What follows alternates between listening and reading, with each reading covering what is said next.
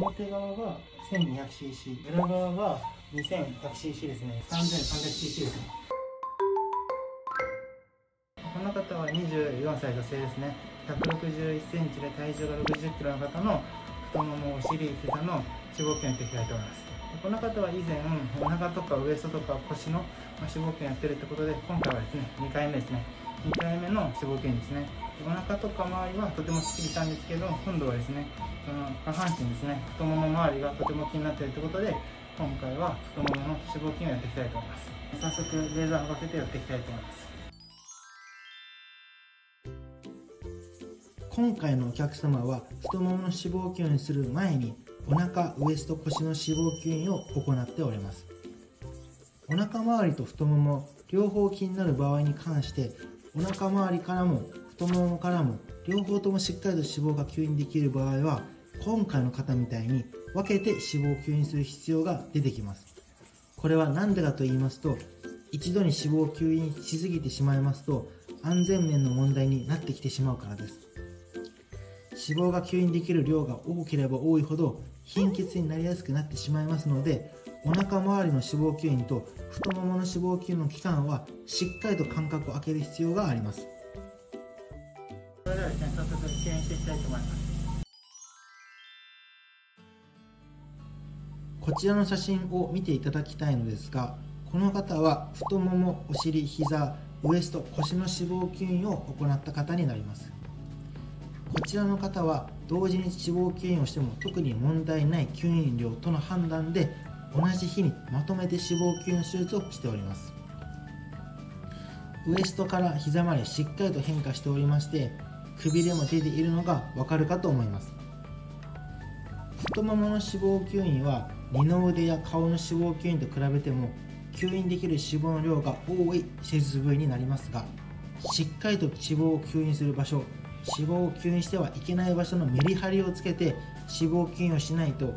綺麗な形のボディラインを作ることができなくなります。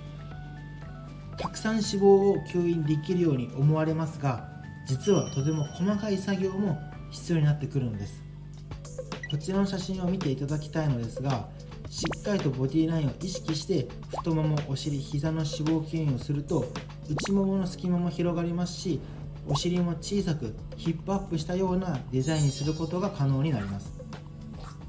太ももの脂肪吸引は脂肪を吸引するドクターの体力も必要ですし広い範囲を美しくデザインする能力も必要になってくる部位かと個人的には思っております。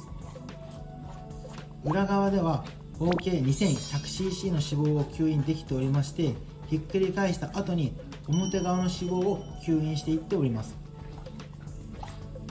太ももの脂肪を吸引する上で太ももの裏側と表側でしたら基本的には太ももの裏側からの方が脂肪を吸引できる量は多いです。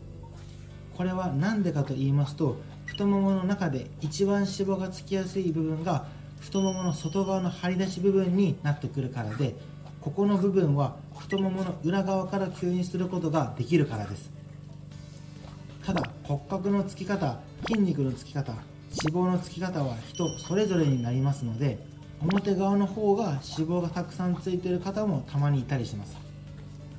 太ももの脂肪を再利用して自分の胸に入れる。脂肪注入包協に関してですが胸に入れる必要最低限の脂肪を太ももから取る場合は太ももの前側よりも太ももの後ろ側から脂肪を吸引する場合が多いですのでぜひ参考にしていただければと思います。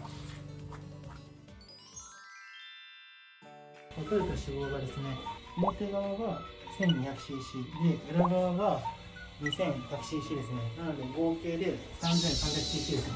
この方はですね身長と体重の割には、ま 3300cc で結構取れてる方だと思いますので結構変化が期待できるのかなって思います。取れた脂肪の量っていうのは、まあ、くまでも目安なのでたくさん取れなかったから変化しないってわけじゃないのであくまでも脂肪の質とか脂肪の硬さとかによってちょっと違ってくると思いますのでこの方は比較的その柔らかめなタイプだったのかなって思います。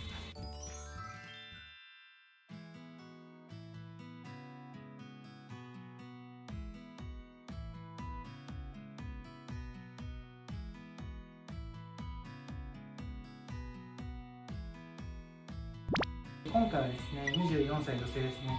身長が161センチで体重が60キロの方の太ももとお尻と膝の脂肪筋ですね今回ですね合計で 3300cc 取れました、で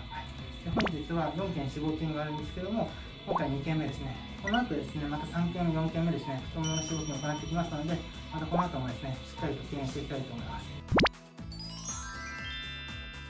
太ももの脂肪筋を4件行いました。でまずですね1件目は太ももとお尻と膝とふくらはぎ足首の脂肪筋で合計 3300cc ですね。こちらです。で2件目ですね。2件目は太ももとお尻と膝の脂肪筋でこちら合計 2800cc ですね。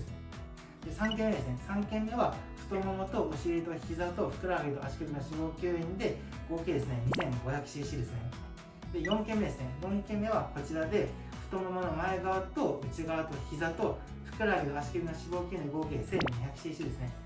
なので本日は太ももの脂肪筋だけで4件で合計ですね。9800cc の脂肪を吸引できました。で太ももの脂肪筋を1日に4件やる人っていうのは多分なかなかいないと思いますし YouTube 上でも一番件数が多いと思いますしあの権量も多いのかなと思いますのでちょっとご報告させていただきました。この動画がいいなと思った方はチャンネル登録といいねボタンを押して応援お願いいたします。そして何か質問とかありましたらコメントしていただけるととても嬉しいです。それではまた。